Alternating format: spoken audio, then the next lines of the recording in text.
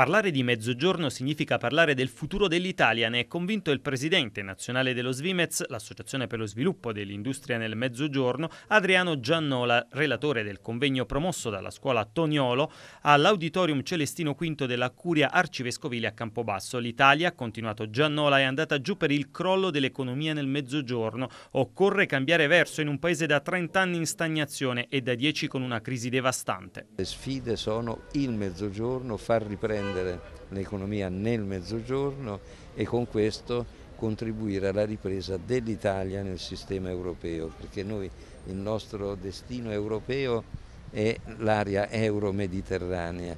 quindi dobbiamo allearci con gli altri che hanno interessi comuni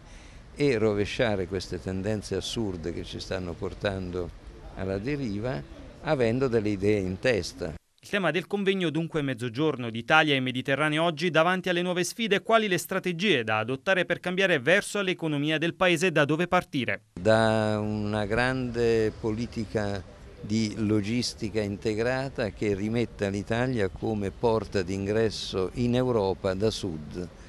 Oggi le, grandi, il Mediterraneo è al centro dei traffici mondiali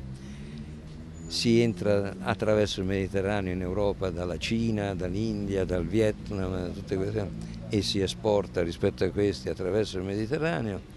però per approdare in Europa si va fino a Rotterdam o Hamburgo quando si potrebbe approdare a Gioia Tauro, a Napoli e a Taranto e entrare in Europa da sud almeno per tutta quella parte d'Europa che